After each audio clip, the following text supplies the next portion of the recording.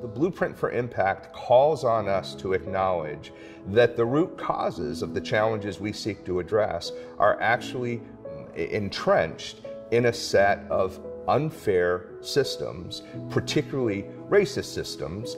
Our challenge is to create a very different vision.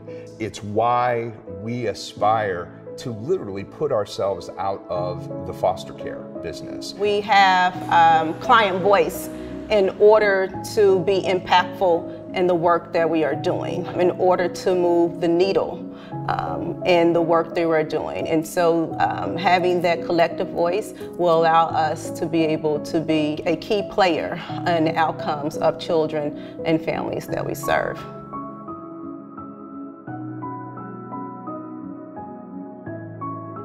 With me being on a set income, my kids being home 24-7, food goes up, bills goes up, craziness goes up because your kids are home 24-7. My three-year-old, his name is Chase, he is very afraid of gunfire. Via a, a, firecracker, he'll run and he'll say, Mommy, they shooting.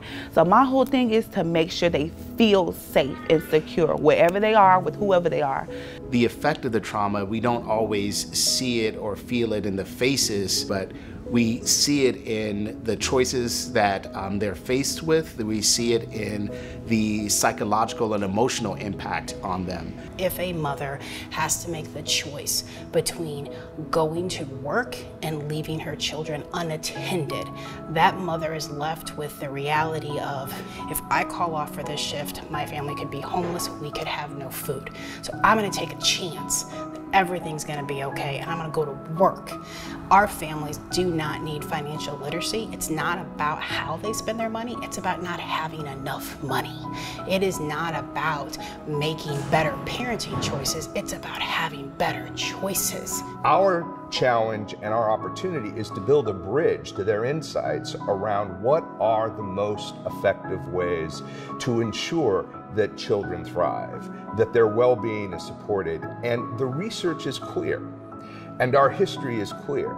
Families and strengthening families are the pathway to doing that.